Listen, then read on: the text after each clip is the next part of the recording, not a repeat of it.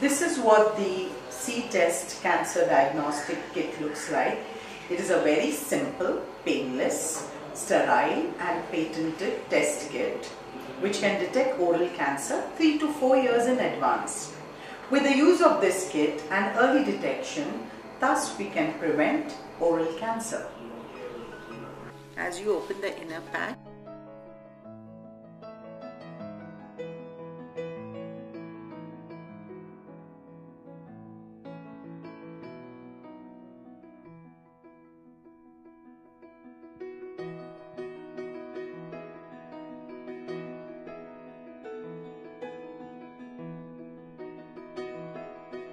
you see there are in, there are six feedback forms and instruction sheet within. Please go through the instructions step by step explanation. Because we have six tests in the kit please tick mark the relevant boxes whether it's oral brush biopsy or swivel biopsy. Patient's name doctor's name and details. And just tick mark. At the end, you please enter whether you are enclosing a digital photograph. Have the fixative.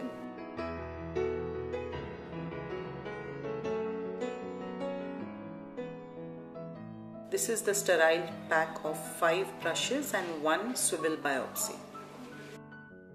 This is the handle. You have the glass slide. These are the 5 slides for the cytology take one of the slides. It has a frosted end where you can write the patient's name. Keep it aside. So we have the glass slide, the fixative spray and the handle. Remove one brush. Please note that one brush should be used per lesion. Thread the brush over the handle and it's ready for testing. After thorough oral examination, look for the suspected lesion. Support the area, hold the handle with a firm grip, support the lip and give 5 to 6 firm rotations. In areas with increased keratinization, you have to give a little extra pressure and an extra rotation.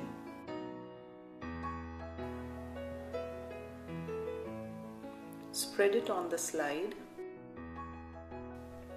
and use the fixator. Allow it to dry. Next, for the swivel biopsy, you take the blade,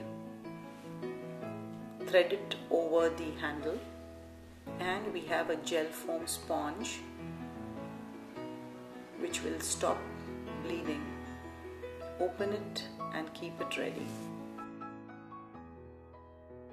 Keep the preservative vial ready so we have the vial of preservative, unscrew, keep it ready and the blade which is fixed on the handle. Swivel biopsy is used when the brush biopsy is positive or if it is already at a non-healing ulcer state. Support, firm grip and one rotation, complete 360 degree rotation put it in the vial. The thimble goes in the preservative vial and the gel foam is used as a pressure pack for 10 minutes.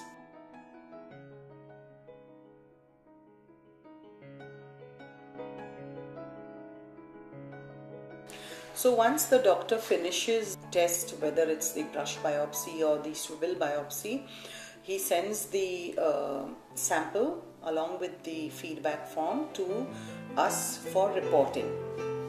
One brush should be used per lesion and separate form per test. Uh, the turnaround time for reporting is 2 to 3 days and uh, uh, we use digitalized pathological scanner for the reporting where the margin of error is minimal. Uh, submitting digital photographs by email will help us C-Test Medicals Private Limited is not responsible for reporting done in labs other than C-Test Medical Labs.